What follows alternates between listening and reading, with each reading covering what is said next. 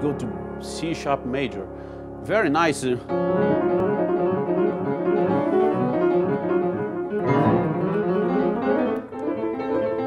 This is a typical Rachmaninoff part that needs to be really precise and pianissimo. Th- this one.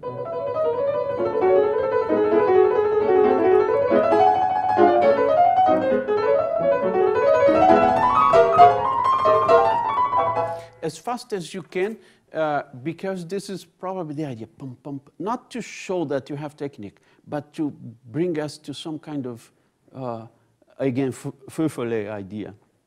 That's something that you cannot catch. That's the idea. The people, oh, what's happening?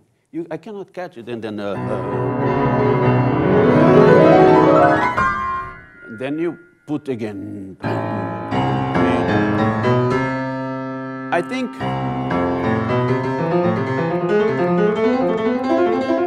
can be more